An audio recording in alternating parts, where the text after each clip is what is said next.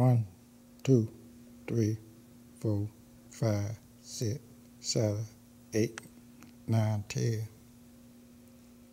Okay, we was talking about now what influenced you to write this book. Um, well, the extraordinary uh, rise and ascent of uh, Barack Obama and everything that came with that inspired me. I've written, uh, I would say, hundreds of articles in different blogs and different places, and I pooled all of those together, and that's a lot of those are in the back of the book, which is called the Renaissance Obama articles. But but beyond that, there were other ideals of where current events and current things that I wanted to talk about. When I had the idea for writing this book, and this book has happened over several years, it's probably three years that has happened. You know, I first conceptualized it in another uh, title, uh, Generational Conservatives versus the Heart of Obama. Oh, oh, but that title did not did not really uh, did not really feel for me. So I, I came back with another mindset and I, I, added the first article, which is uh, extraterrestrials and humans. And all of that came together into uh, the ideal and the title and the book that we have now. So we don't, we want everybody to go out and really buy this book, so we don't want to give them too much insight into it. But I want you to just give us just maybe a tad bit, because we don't want people to think it's about extraterrestrials. So let's Okay. Um, well, in the first part of the book, the the first ten articles, it talks about immigration. Uh, what is the best approach and what's Obama's approach for immigration? It talks about Russia. It talks about Africa and uh, Obama's connection to Africa. And I also talk about my trip to Africa and Tanzania and how uh, the, the U.S. is trying to interject trade in there and compete with China. It talks about our relationship with China. It talks about all the facets of world events and current events and different things. Uh, there's also an article, uh, excuse me, there's also a novel excerpt in the book which is a very fascinating novel excerpt that the novel excerpt talks about uh, a trip to Ethiopia by a Catholic priests. And they're going there to meet a secret organization called the Teachers. And it talks about that trip and what transpires on that trip, why they go, what's the history of uh, the organization, and their interactions with that organization. So and it, it, gives a lot of historical parts into that uh, novel excerpt also. And that novel excerpt in the book is called the uh, the uh, the beginning of the sin against the universe, and so it's very interesting. I, I implore everybody that they should go out and read at least that novel excerpt. Well, I can hear your passion about this book, so I know you took your time and that you enjoyed writing it. And like I said, we don't want to get you to give us too much about it, but just give us a little bit about toward the end of it. What what what you want us to what tell me what do you really want your readers to get out of this book? I want the readers to get a, a, a different perspective, a, a really a an appreciation of what Barack Obama had to go through, had to deal with, and then how he has to have extraordinary abilities to be able to withstand, to overcome, to do all of those things. Because we hear so many negatives about that he's a weak president, that he's the worst president, that he's this president. So I wanted people to get another perspective of how he will probably go down as one of the top five presidents uh, ever. And I want them to see all these different facets to help in that understanding.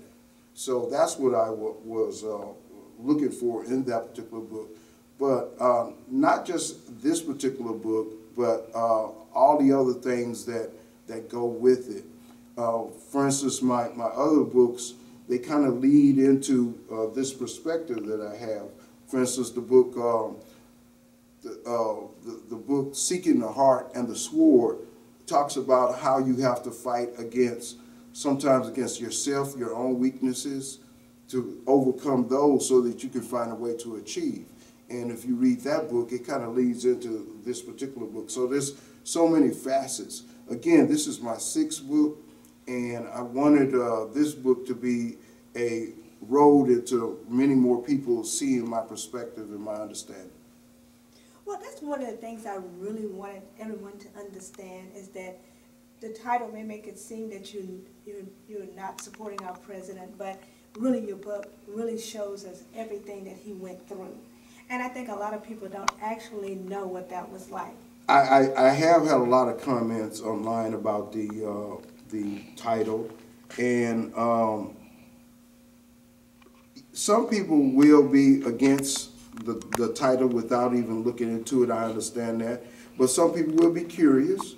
So it is a, something that will grab attention and it's also something that is somewhat provocative. Now, it, it comes, starts into the question of what is a person's ideal or understanding of extraterrestrials. Uh, my personal opinion is I do not know. I'm not sure on that, but I will say this.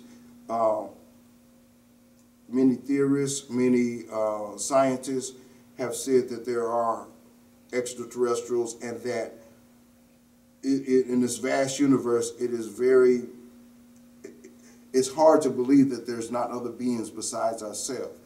And in Africa, uh, there's called a Ngorongoro Goro crater. People from Tanzania could correct me on the pronunciation on that. Uh, but it's a big crater in Tanzania near Arusha, and it's about five miles wide. And the atmosphere in that crater is different from the atmosphere on the outside of the crater. And it has a whole lot of different um, archaeological findings in there. And some of the oldest bones that we know come from that area of the universe, of the earth. And so uh, a lot of people believe that maybe if aliens did come down, they crash landed inside that crater. I'm not saying that's a theory that's true. I don't have enough knowledge. I'm not an archaeologist, but I'm just presenting the theories. But one thing I was saying with that title is if there are extraterrestrials in the world, maybe that explains how this uh, man uh, from unusual background, but not uh, something that, that other people haven't been through. How he rose up on this highest level through all of the midst of everything going on. How did he rise up through this uh, midst of all of this stuff to rise to that level, to the most extraordinary position in the world? The book could have been called Obama the Extraordinary. It could have been called Obama the Overcomer. It could have been called many other titles, but it's called Obama the Extraterrestrial, representing that possibility, that thought. So I know there's a lot of people that could be uh, very uh, disgusted with the title, but look at it in a positive light. Uh, it's something that maybe others could rise to, and if there are extraterrestrials, maybe that explains it. But you can call it Obama the Extraordinary, if that is better for you. Okay. So tell me, what is your goal with this book? Do you think you're going to make the bestsellers list? I certainly would like to. I would like to try. I would like to try to make the bestsellers uh, list. We are going to uh, go all out. We're going to put it on um, uh, Amazon, on different websites. We're going to do all kind of different things to promote the book and get people out there to read it. Because I think if people read it, they will certainly find it an interesting read and a very uh, insightful and provocative perspective. And so I think it would be a very good book to be on everybody's shoulders, excuse me, on everybody's uh, bookshelf. So I, I think it is a, a book that should be uh, looked at and listened at and read from every perspective. So uh, I look forward to it. Well, you know what is one thing I can say to people is that don't judge a book by its cover. I've enjoyed this book. My 14 started to read it a little bit, but I was so busy trying to get into it. So don't judge a book by its cover. This book is awesome. The you got a chance to hear from the author yourself, and you can hear his views.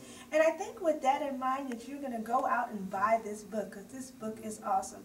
Again, guys, I want to thank Mr. Carl Alexander for coming and sharing this book with us this morning. And I look forward to seeing it on the bestsellers list because we're going to put it there as a people. Y'all guys have a great day. Thank you very much. Thank you. All right. Thank you. Thank you.